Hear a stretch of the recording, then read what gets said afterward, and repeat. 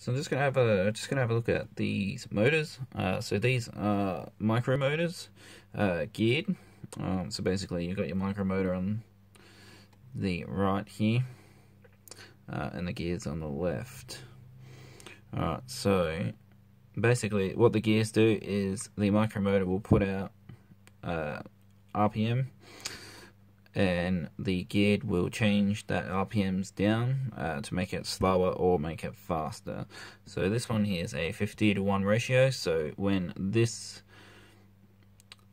motor here spins 50 times, this pin here will only rotate one time. Uh, it sounds like a lot, but when you're driving, it is actually pretty quick still. So what we're going to do is we're going to wire uh, solder them in.